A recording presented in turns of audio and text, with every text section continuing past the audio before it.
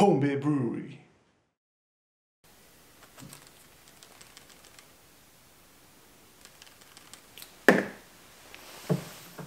Hello Brewtubers and thanks for tuning in on Home Beer Brewery's channel. As you guys can see I grabbed myself a really nice homebrew. This is the leftover ale that I brewed a while ago. I used leftover grains, different types of grains and some hop leftovers and let's take a sip.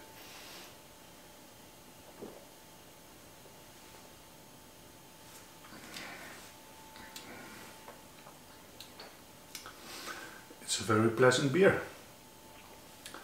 But next time I need some more aroma hops. But I'm not making this video to review a homebrew. This video guys is about how I perform a yeast dump with the SS Brewtech conical fermenter. I know I have already a video online available on my channel about uh, dumping yeast with uh, the conical fermenter of SS Brewtech. That was the 7 gallon version, but with the factory stock uh, valves on it. And now I own butterfly valves, so it's a little bit of a different kind of process. I really like the butterfly valves. They are really easy to clean and very easy to sanitize.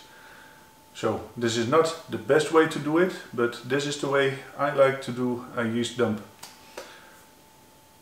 Take note that for the best result you perform a yeast dump multiple times.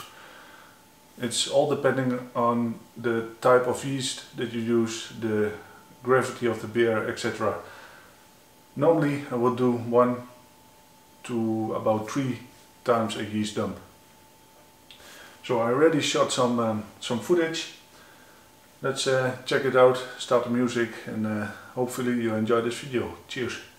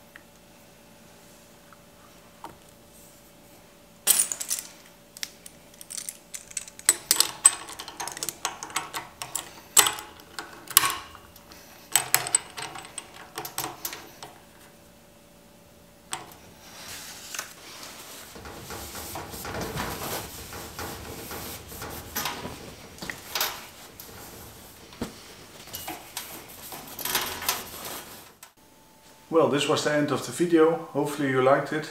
Please let me know if you want to see a video about how to reuse the yeast. So collecting the yeast out of the conical fermenter and save it. It's a different kind of process, but very easy. You need uh, to sanitize bottles like uh, this one, like I do. But it's a different uh, process. But let me know if you want to see a video about it uh, as well. Thank you for watching all. Cheers and remember nothing is better than a good homebrew. Bye bye.